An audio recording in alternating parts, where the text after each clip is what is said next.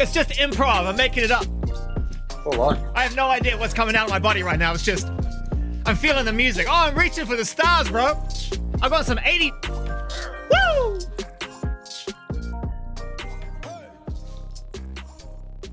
I was expecting a little more from you. Okay, that's cool. It's fine. It's fine. I'll keep it to words then. Awesome. I did enjoy it. I wasn't expecting it. I wasn't prepared for it, but I did enjoy it. You made the song. You didn't make it for people to stand still and nod their heads sagely while looking at you with a stern, a stern smile. It does happen a lot, that though. I don't, I don't believe that for a second, bro. Because I'm getting reports that what you're doing on the White Isle right now in the Balearics is off the charts. I mean, talk about a triumphant return for quality club music and for the DJ and producer who makes it. Just before we get into this and the album, how's it been this season, man? That season, for, you know, back real time. More than anything else, it's been nice to see people um, with uh, smiling faces having a good time uh, in a in a group, you know, which isn't, you know, I think we got used to not seeing that, so that's still a, a big novelty, and um, yeah, my gigs have been great. There's been a ton of people there. Dude, I hear the guest list is off the chart. You got to give us some idea about who's shown up this summer, man, because it's all over the papers anyway. So who's been coming to the clubs? Well, we had um, primarily a lot of footballers this year. Um, a lot, a lot, a lot of good footballers. We had Kevin De Bruyne, Virgil van Dijk, and Nathan Ake together. of younger lads, Harvey Elliott and uh, Billy Gilmour. Um, and and then yeah, like a, a, a few DJs, few few music people as well. But um, it's less about that and more about just like folk having a lovely time. When we talked last time and you were getting ready to play shows again, you were like, "Man, I can't wait to go out there and just play back to back." And so, has that kind of still been the philosophy? Have you just been hitting people between the eyes, or have you been kind of like finding that there's a different groove in the bag that needs to be played on on a certain night? Nah, primarily for me, uh, because it's because I'm playing. I want to play my songs. So I've been playing a lot of my songs. And ever since I did this, um, I did this show at uh, Hampden Stadium when I played even more of my songs. I started playing even more of my songs in Ibiza as well because I thought, you know what, they are they they are good and people know them. So uh, nothing to be ashamed of. Never, Calvin, and never has been. Um, so Funk Wav. I know you didn't make that for this particular type of environment. You know, it was it was a more personal exercise for you um, a different kind of enjoyment than making something you know is going to rock 120 to 125 beats per minute in a big club. But are you working these in? I mean, have you found a way to make this work in your set? No, it's impossible. I play um, I play slide now, and that was ever since Hampden. Um, a nice little interlude. But as for everything else, now. Nah. You say it's impossible, and yet you took a first step towards the summit. Slide is that first step. What do, how do people react to it? Well, because people know it, then it, it goes down well. But um, but I mean, I could play slide, but I couldn't play Feels. You know, I would feel strange about playing that. So it's one of them. Um, but no, there's nothing from this album I'm going to try and like shoehorn in there. This this album is like for uh, car journeys and uh, uh, beaches and things like this. How do you get yourself into a place where you know you're capturing that experience of being in a car, heading to the beach, you know, going for an amazing walk on your own and having something that feels joyous? What I was doing a lot was um, taking trips to the mountains is when I still lived in LA. Taking a trip out to this place called Idyllwild um, in the car, listening to a lot of psychedelic rock, um, and then climbing the mountain, literally and figuratively, and then uh, heading back. So I was doing a lot of that, putting a lot of vinyl get into that kind of zone. Yeah, well, I've seen the images you've been posting, and I love that. And uh, as someone who started collecting again, really obsessively and passionately, it was, it's awesome just to to get a sense of that kind of tactility, that static, that dust on this music, and in particular on this song, "Obsessed." Um, God, there's a lot for me to untangle here in terms of inspiration. I feel like there's definitely some kind of late 70s FM sort of soul going on here. You know, Puth is is about the closest thing to a young yacht rock singer that we have in the modern age.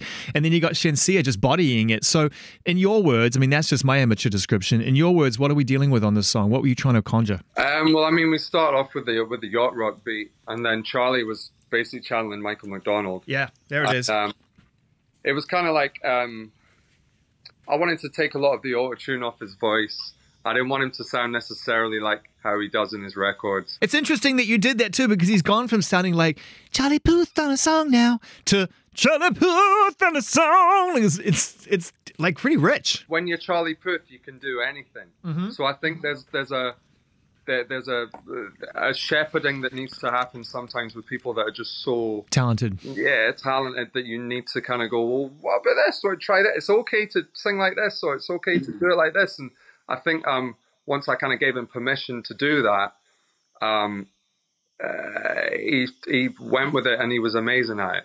And then the Shenseea element was more like um, ah, it kind of reminded me of those '90s hip hop tunes that were kind of like commercial and they had a disco sample and then it would be like Lil Kim on it or something like that. Um, and because um, because that beat is kind of like like that, and Shenseea uh, was someone that I really wanted to work with, I was like, well, this surely would work, and it did because she's brilliant. You know, when we spoke, the, you, you, you sort of wouldn't give much away, rightfully so. But now the track listing's out and the album's out, and so everyone knows who's on what. Um, but you you said there's there's some people on this album that I, I, I still wake up and I'm like, how did this happen? Um, you sort of must be at liberty now to say like who really i mean everyone's amazing. Everyone who showed up was was by design but who who one of those people you know are that you were just like there's no way this is going to happen and it happened? I mean honestly for me um just from uh uh the viewpoint of music that i listened to growing up getting pharrell and pusha t on a song was big. Getting pharrell and justin timberlake and halsey on a song felt amazing to me and like such an amazing experience. Um, and it was those two that, that stood out in that respect. I didn't realize that you've left LA now. Are you back in the UK full time? No, I'm kind of I'm kind of living a bit of a nomadic existence at the moment. I'm not sure where I live. I'm in Ibiza at the moment because I have these shows, um, and then after that, uh, I'm going to figure it out. That's amazing. Um, I only mentioned the UK because I, I, figured that might be a natural resting place for you at some point. and I, I love seeing you know artists like Donae'o on this record too. Now, for a lot of people who are watching this, listening to this, they won't recognize uh, that name. Um, it's a beautiful introduction to this artist who has been gifting us with not just his voice, but like this righteous approach to lyrics and music and what he stands for for a long time. So, for fans of Calvin Harris who see you as the guy who can put Pharrell and Halsey and Justin Timberlake on a record. Can you just give some context to Donae'o and what drew you to him? I don't think I can describe Donae'o, actually. Um, the first time I met him, he told me that he was blessed with a well of vibes. And I think that kind of sums it up. and, you know, since then, like, I, I did some songs with him. Um, we, we, we hung out a bit and uh, we became friends, you know, and, and, and he was always someone that I wanted to put on something. I just didn't know what. Um, so this seemed like a good a good way of doing that. And he he just won't let you down when it comes to a vocal or a, or a feeling or a delivery. He's uh, uh, you know, he's a pro and he's and he's brilliant. There's so many amazing people we could go through the entire list, but someone does immediately spring to mind for me, which is um, Jorja Smith again, staying in the UK and again an artist that I feel has has taken a really deliberate approach to the way she releases her music and moves and doesn't remotely lean into this kind of attention seeking space that everyone else seems drawn towards. How was the experience working with Jorja and, and what did you learn from that? Because I know you do this for the learning. Yeah, it was amazing. It was actually surprising initially to me that she wanted to work, like that she was receptive to that because um, the the the persona I feel like that she puts out is a little bit for me a little bit standoffish. So I was like, mm-hmm. well, maybe uh, maybe she, you know she's probably not up for it, and she was so up for it. And not only was she up for it, she was like um, very sort of excited and, and happy to do it, and um, the the song turned out amazingly. I think like when when she put out um, I think on her second album this song called Bussdown, and her voice seemed to hit this new level that, that I'd never heard anything like it in my life. And I've rinsed that record just in the car and, uh, and everywhere. Um, and I thought, wow, if I can get her to sound like that um, over one of these kind of beats, it would just be phenomenal. And it turns out she just sounds like that. So it was, it was, it was You're a genius, Cal. You're a genius. It, it was easy because she's Brilliant. As a starter conversation for one, we'll have at a later date because I'd love to dive into this aspect in real detail. Um, I just want to ask you this on a simple level. As a, as a vocal producer, not just a producer, a mixer, an artist, and a creative yourself, but as someone who has to produce vocals, that's a very different discipline to producing music.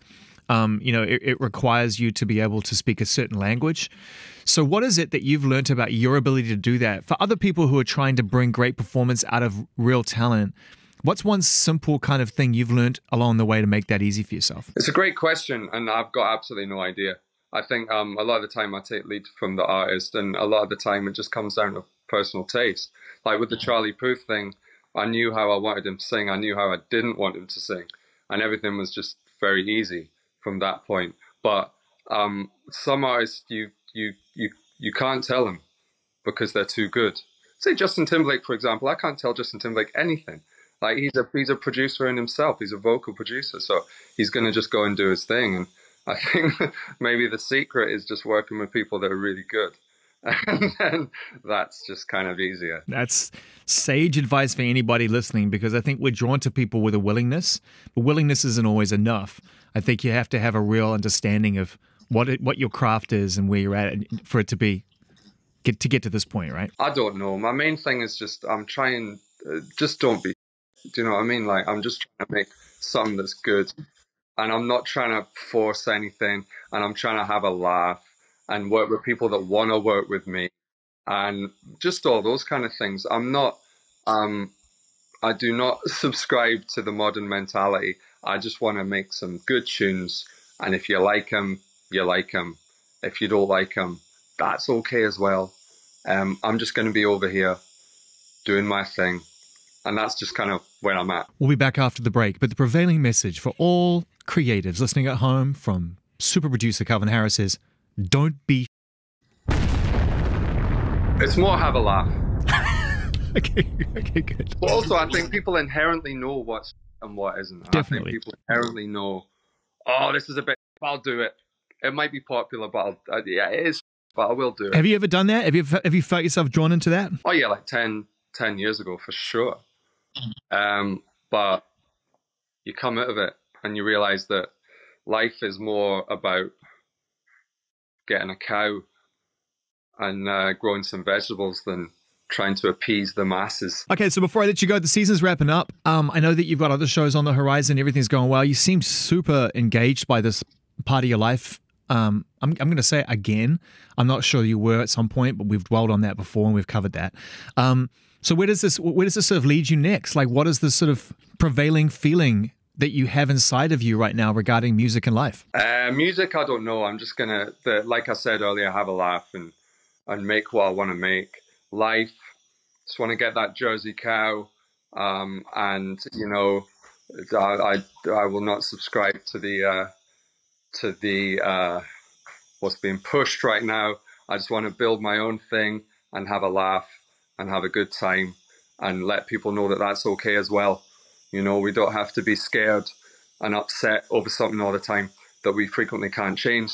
We can change the reaction within ourselves and we can get a cow, save up for a cow. This has been a really enlightening and wonderful conversation, as it always is. Um, I know that there's a, there's a possibility that we'll be able to talk a little bit more about agriculture and uh, the soulful side of life because that's something I'm right now in the process of getting my own proverbial cow. So once again, at this point, we've found ourselves in a fairly similar space. So we should talk about that at some point. Absolutely. I mean, for me, like music's one thing, and then the rest of it is the rest of it. And I'm, uh, yeah, I'm I'm more about the rest of it at the minute.